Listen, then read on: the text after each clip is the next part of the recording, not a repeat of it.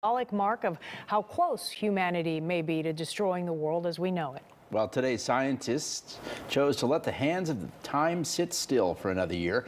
The clock will continue to sit at 100 seconds to midnight. Dr. Rachel Bronson is the president and CEO of the Bulletin of the Atomic Scientists and oversees the management of the Doomsday Clock. Thanks for being with us. Thanks for having me. So, good news, bad news that the the the uh, minute the second hand didn't move. Yeah, it's not great news. We always want to move it back. 100 seconds to midnight. It's it's very dangerous, very precarious situation. Um, we want to move it back. Um, we talked in our release about a mixed threat environment, and by that we mean there was some positive changes. There was some good news stories. Uh, we saw countries coming together for climate. Um, we saw the, the extension of a new START arms control agreement around nuclear weapons, but there's still a lot a lot that is worrisome, accelerating negative trends, and we feel that I think many of us in our daily lives about what it feels like to be at 100 seconds to midnight. Even the, the news coming through from Russia and Ukraine, not great. So there's a lot that we were looking at when we said it that we're concerned about. Okay. I want to go back a little bit for people that may not know very much about the doomsday clock. I know it's mostly symbolic, but there's a, a number of scientists and experts that kind of weigh in, weigh into some of these different situations or scenarios or issues that may be going on around the country. Tell me um, kind of how you you go about making the decision of whether to set the clock back or set it forward? How does it work? Yeah, so it's the 75th anniversary of the Doomsday Clock. Um, it was a it was established here in Chicago. It's really a Chicago story. We're at the University of Chicago as, as our, our host institution. So um, we have a science and security board. They're the ones who set the Doomsday Clock.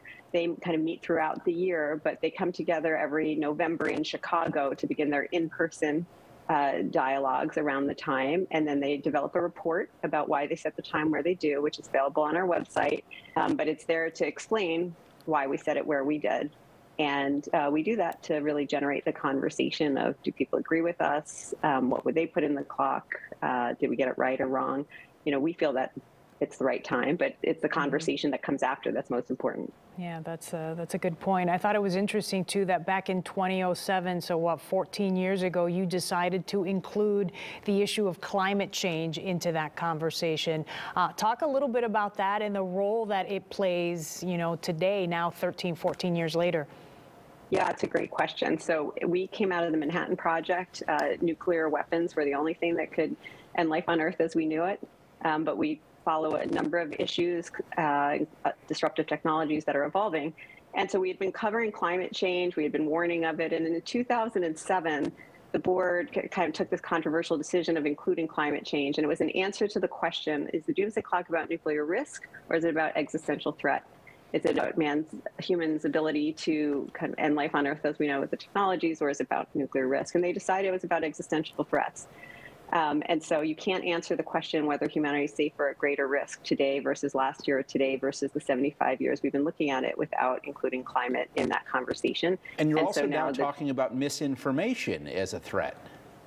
Yeah, we talk very carefully about misinformation as a uh, as a threat multiplier, which is the existential risks of climate and nuclear, but the the dystopic information ecosystem that we're in at the moment makes everything harder. It makes it harder to talk about pandemics. It makes it mm-hmm. harder to talk about climate change or to solve this nuclear proliferation. So we talk about it because it's a threat multiplier. Got it.